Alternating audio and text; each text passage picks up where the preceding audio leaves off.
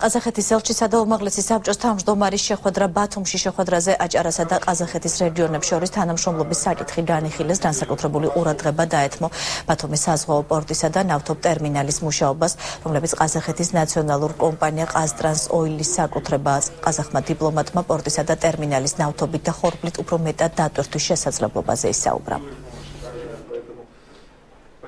ახალი რაღაც პერსპექტივები გამოიკვეთა ეკონომიკურ მიმართულებაში, ტურიზმშიც დაისახა ახალი გეგმები. ჩვენს რეგიონთან მიმართებაში, ყაზახეთის სამდიდის სახელმწიფოს სახელმწიფოსთან ურთიერთობის მომავალთან დაკავშირებით. прекрасно, я думаю, что у нас есть все ძალიან კარგია თუ ამ ტრანზიტის ნაწილი ევროპაში, ყაზახეთისა და საქართველოს გავლით ჩავა. მომავალ წელს ჩვენ ვიწყებთ კაშაგანის უდიდესი საბადოდან ნავთობის მოპოვებას და ჩვენი სურვილია რომ ნავთობი ასევე ბათუმის ნავთობტერმინალის გავლით გადიოდეს და მესამე საკითხი, ეს არის ყაზახური მარცვლეულის ექსპორტი. ვინდა რომ ეს პროდუქტი მსოფლიო ბაზარზე საქართველოს პორტების, მათ შორის ბათუმის პორტის გავლით გავიდეს.